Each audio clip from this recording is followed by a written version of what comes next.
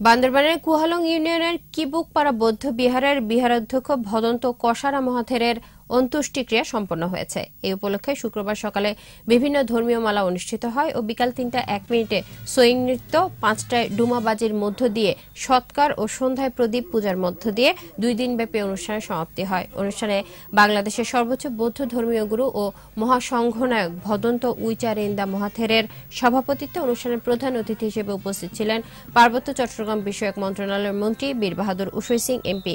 গত পনেরোই এপ্রিল দুই ভোর পাঁচ পাঁচটায় একাশি বছর বয়সে পরলোক গমন করেন ভদন্ত কষারা মহাথের।